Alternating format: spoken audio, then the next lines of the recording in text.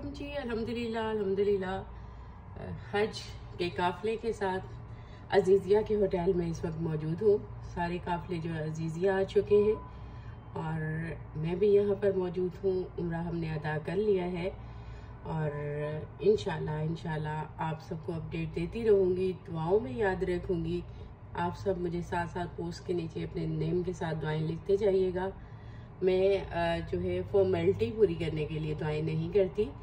मैं दिल से ये बात कह रही हूँ कि मुझे बहुत एहसास होता है कि ये देखें, अल्लाह ताला ने मुझे चूज़ कर लिया, यहाँ पर बुला लिया और जो इतने ही लोग नहीं आ सके, वो मुझे दुआ के लिए कह रहे हैं। तो मैं दिल से दुआ करती हूँ, बहुत दिल से दुआ करती हूँ और अल्लाह ताला दुआ कबूल करते हैं, आपको पता है हज में।